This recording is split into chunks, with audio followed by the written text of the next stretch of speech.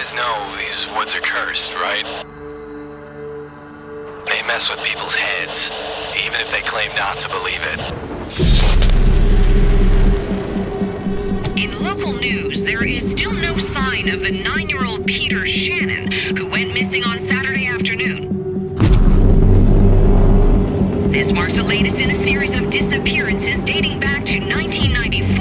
when a group of students ventured into the woods near Burkittsville, never to be seen again. Bullet, seek.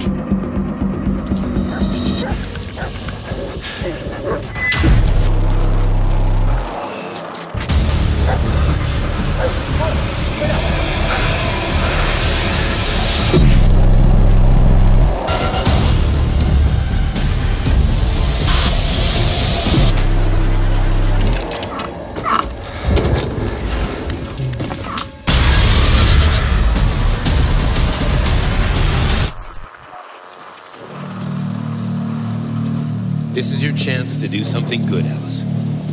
Don't waste it.